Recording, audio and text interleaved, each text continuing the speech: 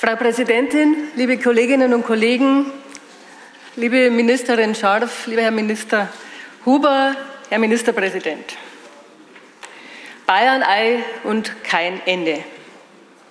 Was ist eigentlich die Wahrheit beim Bayern-Ei-Skandal? Mehrmals schon hat uns Umweltministerin Scharf in den letzten Jahren nicht die Wahrheit gesagt.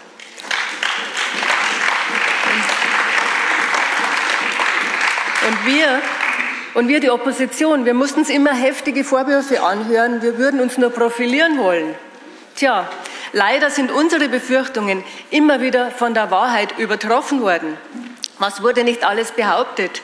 Zum Beispiel hieß es von Frau Scharf, es gäbe in Bayern gar keine Käfigeier zu kaufen. Nun, das war falsch. Dann hieß es, es hätte keine Gefahr für die Bevölkerung in Bayern gegeben. Das war offensichtlich auch falsch.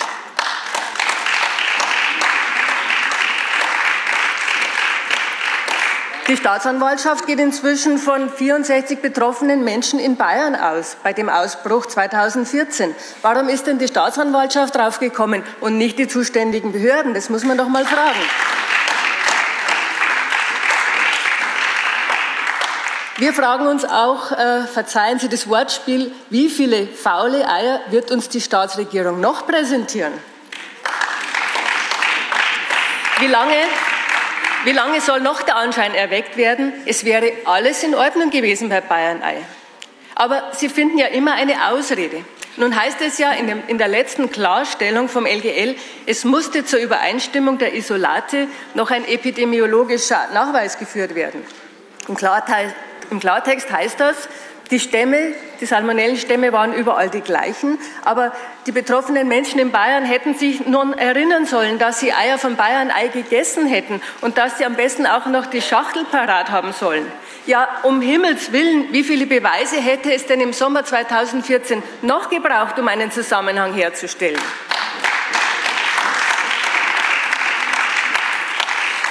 In Wahrheit war halb Europa im Aufruhr, weil es hunderte von Erkrankungen gegeben hat.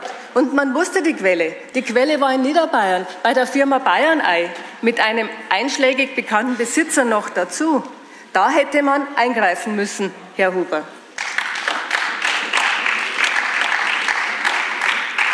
Und dann könnte man ja meinen, wenn die Quelle bekannt ist, werden Maßnahmen ergriffen, dass die, das Krankheitsgeschehen aufhört.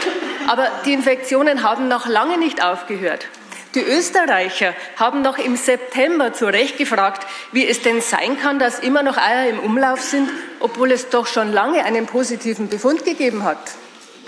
Ja, liebe Kolleginnen und Kollegen, die Antwort ist ganz einfach, weil es am Standort Eiterhofen vom 4. August bis 1. September gedauert hat, bis man den Betrieb zugesperrt hat. Das betrifft Millionen von Eiern, die damals noch im Umlauf waren und die nicht sicher waren für die Bevölkerung.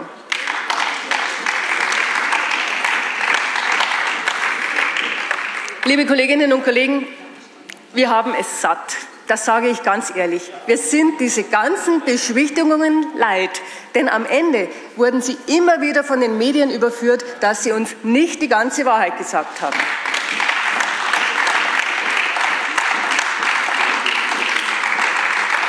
Sie behaupten, Sie behaupten immer, Sie hätten keine andere Wahl gehabt. Sie hätten gar nicht warnen dürfen. Das stimmt nicht. Sie hatten die Wahl. Sie hatten die Wahl zwischen Verbraucherschutz und Rücksicht auf den Eigentümer. Und Sie haben sich für den Hühnerbaron entschieden.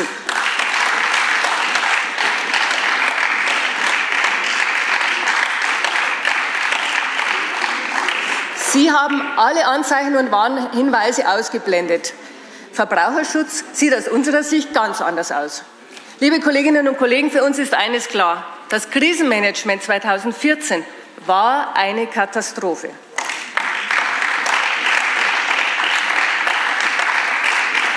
Da hilft es auch nichts, wenn Sie immer wieder Ihre Unschuld betonen. Ein wenig Demut wäre da inzwischen schon angebracht. Meinen Sie nicht, Herr Huber? Denn das Krisenmanagement betrifft ja Sie, Minister Huber. Sie haben die damaligen Versäumnisse zu verantworten. Und aus dieser Nummer kommen Sie auch nicht mehr raus. Aber, aber die jetzt amtierende Verbraucherschutzministerin heißt Ulrike Scharf. Und Sie sind mit der Aufklärung des Skandals gefordert. Und leider muss man sagen, Frau Schaaf, da haben Sie auf ganzer Linie versagt.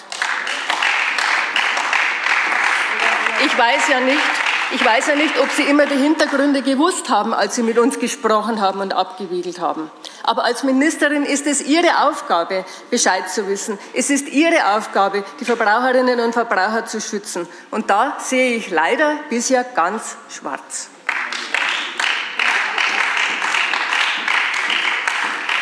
Sie, Frau Scharf, haben gestern beim Neujahrsempfang Papst Franziskus zitiert. Es gibt drei Eigenschaften, die man braucht, sagten Sie. Man brauche Ehrlichkeit, Mut und Verantwortlichkeit. Genau das sollten Sie sich jetzt zu Herzen nehmen. Ehrlichkeit bei der Aufklärung, Mut, auch einmal Fehler zuzugeben und Verantwortung übernehmen, um die Zustände deutlich zu verbessern.